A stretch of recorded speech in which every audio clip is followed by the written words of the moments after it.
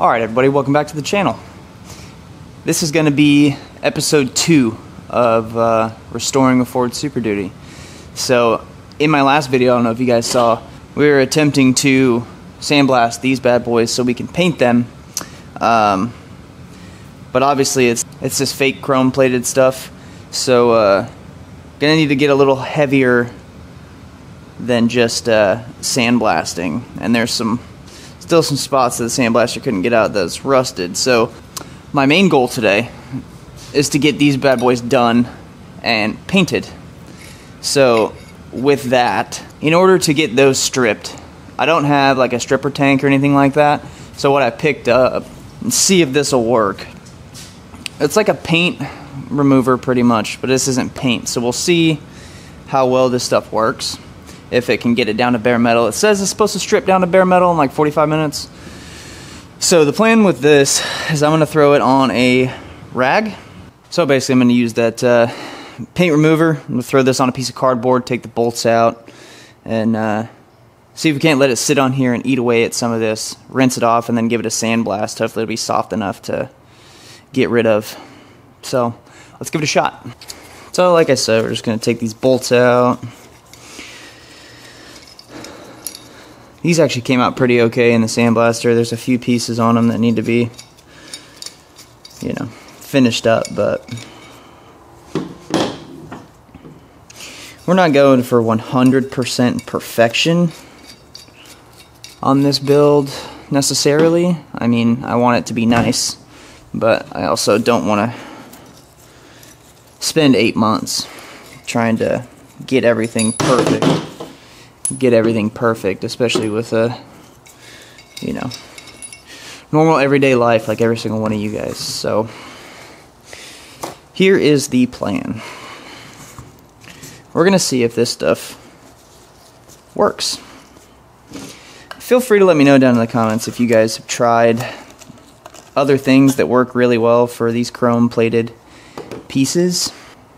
I've never used stuff like this before, so Honestly, just following the directions to see if it'll work. I don't know if it'll work for this type of stuff, but we're going to find out together. Let it sit for about 45 minutes. That's what it says on the bottle. And then uh, see if anything happens. And then we'll give it a rinse and hopefully sandblast this puppy. Alright, so I had another issue that I was dealing with when sandblasting. And it was my gun is pushing out a lot of air through the trigger so it's not sealing. So a lot of my compressor power is being pushed out through the trigger piece. So I did pick up another gun, and hopefully this one seals better. And uh, so I'm going to take out this old gun, change out the fittings, make sure everything's going to work, and then we're going to throw on a ceramic tip, and let's hope we have better blasting power. What do you say? I think that's probably that's probably the better bet to get a new gun because given that this is not like the highest of quality replacement either, um, it might be a little better than Harbor Freight. You know, we'll see how all those fittings work together, and then hopefully we have a way more powerful sandblaster. Okay, so here's the old gun, and I don't know if you can hear, but down in the bottom, this little pin piece that holds back the air pressure is super wobbly. You can't really hear it, but you can see it and feel it. Um, so when you pull the trigger back, this guy is already releasing air, so when you let go, you're not getting as much pressure out of the tip as you would with, a, I guess, a better gun. But here's the new gun. Pretty identical. I'm going to take these bad boys out, put some thread tape on them just to protect these threads and hopefully seal out any other problems.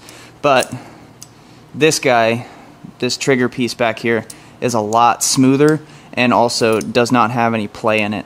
So hopefully that was our problem. I think this is going to be a better solution. I'm going to adjust this tip out for a little more uh, pinpoint tip for glass bead and then uh, we'll see if this guy works any better. All right, so that new gun that I just installed did fix my problem of an air leak. When you open the door before, you could hear it just leaking out of the trigger, and it was making my air pressure go down way faster than it needed to. So this gun does have a lot more zip to it now. That paint thinner didn't really work too well. Maybe I just didn't apply it correctly. Let me know down in the comments if you know, I guess, a different way or a better product even to get like chrome plated stuff off because if I don't do the amp research steps and all that, I'm probably going to do my running boards and try and get my running boards like stripped so I can get them painted or powder coated or something, you know. So uh, yeah, let me know down in the comments if there's maybe a different product or something. You know, I'm still new to this, so I'm not really sure. I'm learning along the same with you guys. So um, I do have the tow hooks in the sandblaster now, so I'm gonna put the try and get as much off as I can, and then we're gonna give them a base clear once they're nice and clean. Let's see what this new gun has to offer for spraying powder. Well, I have them sandblasted to the best of my ability for sure. Um, still a couple little shiny spots. I think I'm going to hit them with some Scotch-Brite, get those uh, all cleaned up. And then I'm going to tape off the threads and then we're gonna hang them and well maybe hang them if we can find a spot. And then we'll do some uh, some painting. So I'm gonna mask the threads off real quick. I got them all sandblasted obviously as you saw. And I got them hung up. And I laid down two coats of base and two coats of clear with a 15 minute flash time in between it all. You can see them right there. Hanging out drying up. And when those guys are ready to go, which will be tomorrow, I'm going to get a uh, razor blade, get some of the runs out, and then I'll get uh, some of my, my polish and all that, and get it all nice and cleaned up and shiny. And then once that's complete, then we'll be able to install it on the truck. So I'm to let those dry for a few hours, and then uh, we'll hop back into it. Okay, so it was just a split second for you guys, but I waited overnight, and I got these bad boys coated up, ready to go back on the truck. So this is how they look afterwards. They were that chrome plated. And with the help of the sandblaster, everything looks like it's a nice thick coat and it actually seeped into the metal, which is good. So there shouldn't be any sort of chipping or anything like that. Unless we have somebody tug on it, pretty much, to pull me out of anywhere. But there is, well, being a YouTuber, obviously I want to uh, not hide anything. I, I want to show you guys my mistakes. So I did get a little overzealous on the clear. And uh, once that fully cures up and dries, I'm going to give that a nice wet sand. And then uh, I will polish these up so it'll be nice and nice and clean. But let's go ahead and put these on the truck. And then I have uh, one more thing I want to do within this episode. So let's go install these bad boys. So these bad boys are a, a 15 millimeter bolt. And they're kind of cramped up in there. So if you do have an angle uh, ratchet, I would recommend using it. But you don't have to. I got them out without it. I do recommend using one of these guys. Um, it's going to make your life a whole lot easier. Just getting it snugged up in there and making sure nothing's just hand tight. But that's the first one done. And uh, it looks way better than Chrome. So let's go ahead and knock out this guy. So, like I said, those look pretty dang good. Way better than the Chrome. But I was saying, I did go just a little overzealous on the clear here. See, I got a nice run right there. Um, since it's on the top and it's pretty easy to get to, I will be able to wet sand and polish that, so that's not that big of a deal. Um, so I'm gonna let the truck drip dry for, I don't know, probably about 10 more minutes or so, and then I'll pull the truck into the garage. Then we have one more thing we want to accomplish in this episode. So, let's do it. Okay. So here's the next step in this process. We're gonna be using the Cerakote glass coat. Cerakote makes a lot of good products. Um, they make a trim coat it makes all your black plastics look like it's brand new. Um, Cerakote does make a spray, like a metal coating spray, that is so thin that you don't even have to mask off threads. Um, you know, they make some really good products and they're one of the leading companies in ceramic coating technology. So, what we're going to be doing today is the windshield and all the windows, minus the back window, uh, because I want to take this canopy off here and then we'll do the back window when that happens. But this has everything you need to do the uh, glass coating. So, it does come with your actual ceramic glass coating right here. Um, it comes with a microfiber to wipe off everything. And it does come with gloves, so if you don't have gloves, it's a nice all-in-one package. And then it does have your glass um, cleaner, so your glass cleaner wipes. So I'm going to use one, one cleaner for the whole windshield, and then I will use one cleaner for all four of the windows. So one of the things with ceramic glass coating, right?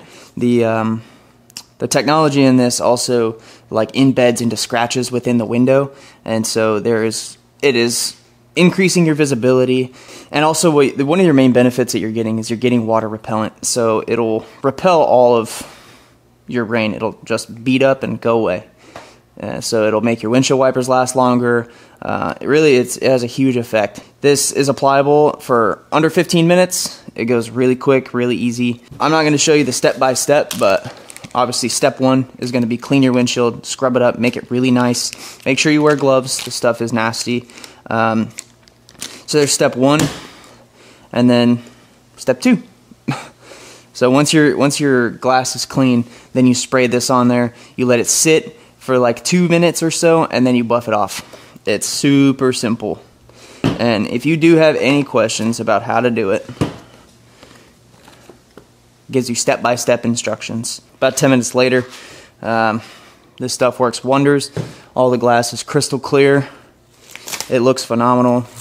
If you guys want to pick up some of this, I'll put it, uh, a link to it down in the description box below. These guys are absolutely amazing. Their customer service is awesome too. Um, they like to support car enthusiasts.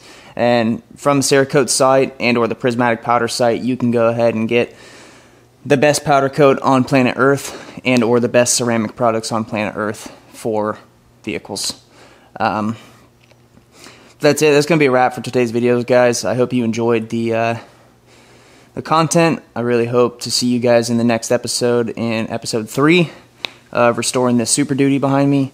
This is going to be a pretty fun journey, and I really hope you guys can stick around and come along with me for this. This is going to be super fun time. But uh, with that being said, I'm going to wrap it up right here. I hope to see you guys in the next episode. Thank you guys for all the support, and uh, we'll catch you in the next video. See ya.